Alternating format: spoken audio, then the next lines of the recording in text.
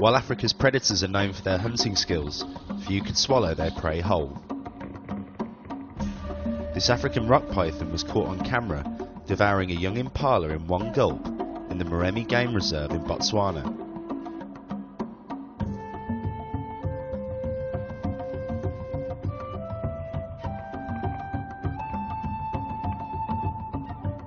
The 8 foot long constrictor swallowed its kill head first by expanding its jaws around its victim.